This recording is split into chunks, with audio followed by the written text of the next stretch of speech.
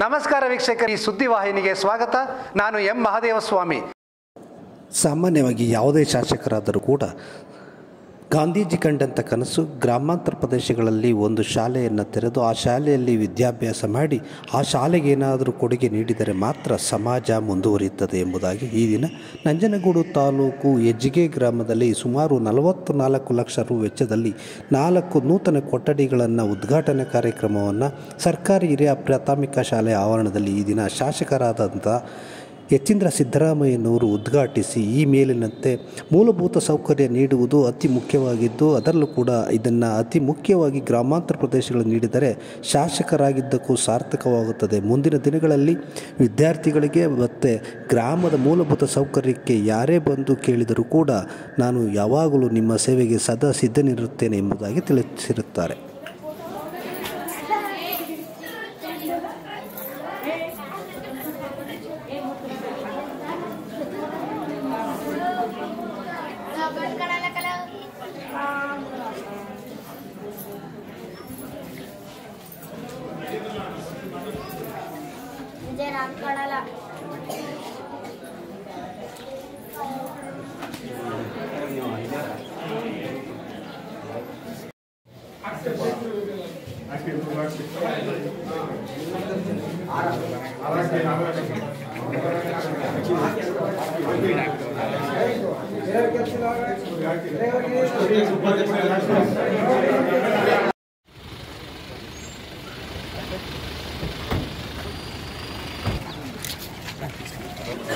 ನಾಲ್ಕೊಡಲ್ಲ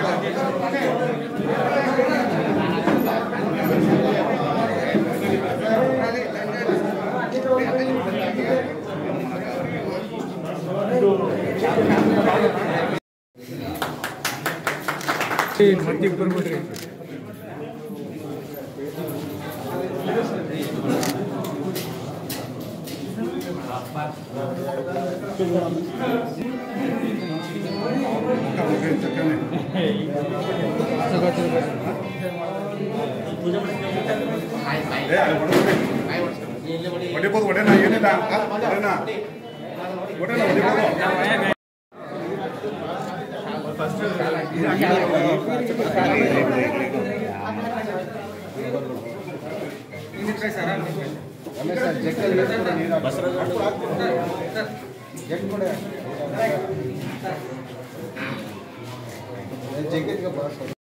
ಮತ್ತು ಈ ಒಂದು ಕೊಠಡಿ ನಿರ್ಮಾಣ ಮಾಡಿದಂತಹ ಇಲಾಖೆ ಅಧಿಕಾರಿಗಳು ಮತ್ತೆ ಎಲ್ಲಕ್ಕಿಂತ ಹೆಚ್ಚಾಗಿ ನಮ್ಮ ಹೆಚ್ಚಿಗೆ ಹೆಚ್ಚಿಗೆ ಗ್ರಾಮದ ನಾಗರಿಕರು ಮತ್ತು ಇಲ್ಲಿ ಓದುವಂತಹ ಸಣ್ಣ ಮಕ್ಕಳುಗಳು ನೀವೆಲ್ಲರೂ ಆಗಮಿಸಿದರೆ ಎಲ್ಲರೂ ಕೂಡ ಅವ್ರಿಗೆ ನಮಸ್ಕಾರಗಳು.